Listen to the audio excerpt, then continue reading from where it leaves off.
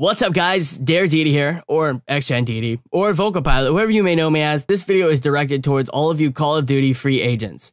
I just want to let you guys know that XGen is recruiting. XGen has a very historic name to it and has 34,000 subscribers. And, uh, you know, I've been leading it for the past eight months and I've put in like all of my heart into it. And it just, it sucks because recently I got full time at work and real life's been hitting me hard. And with editing for Dare and just a bunch of other stuff, I'm just lacking the time to actually lead it. So we're in the process of building new leadership.